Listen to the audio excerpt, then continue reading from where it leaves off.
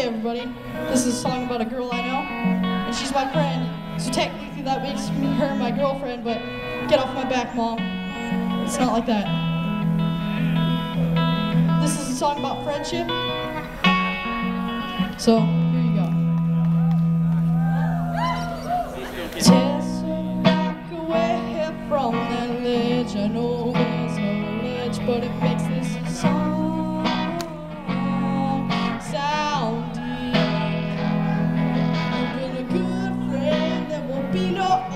to the ship of friends. So I lend my hand.